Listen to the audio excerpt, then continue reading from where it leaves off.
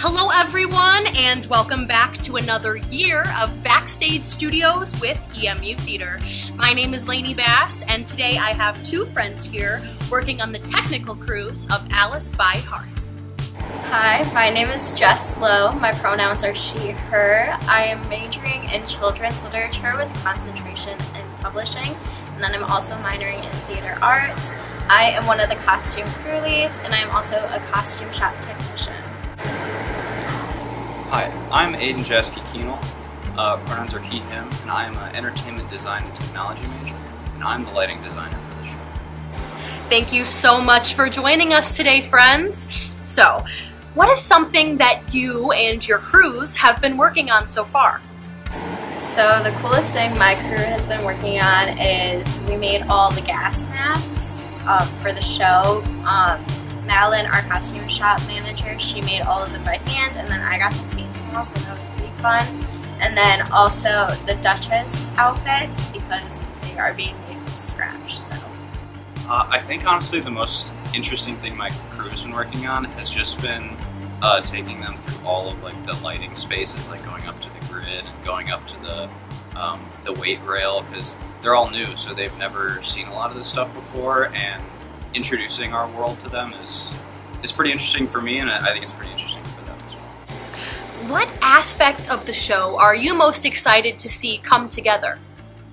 I am most excited to see the choreography. I think the thing I'm most excited for is uh, a particular part of the set that we've been working on. Uh, I'm also a shop staff technician, um, and we're going to have these grates on stage that have fog coming out of them, uh, but we've also made them so that we can shine light through them. I'm really excited to see what that actually looks like on stage with the actors in costume. And why should people come see Alice by Heart? You should come see Alice by Heart because it is such a raw and emotional show, and everyone has been working so hard, and all the creative aspects of it have come together so nicely. Uh, I have to agree. It's it's just going to be an amazing show, and everything that everyone has been working on has been amazing. What is your favorite memory from working on the show? Is there something that stands out to you? Okay, I think the funniest thing that I've seen happen so far was during uh, during design run. Uh, Gavin's shoe fell apart. Um, it was just really. We, they like finished the number and then uh, uh, they just like walked center stage. It was like my shoe blew up. It was, it was very fun. It was just a.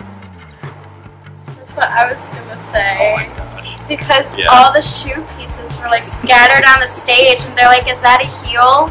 And it was. So yeah, that would have to be the funniest moment. Thank you so much for being here today, friends. You all can catch Alice by Heart playing October 3rd, 4th, and 5th at 7 p.m. and October 5th and 6th at 2 p.m. in the Legacy Theater. We hope to see you there.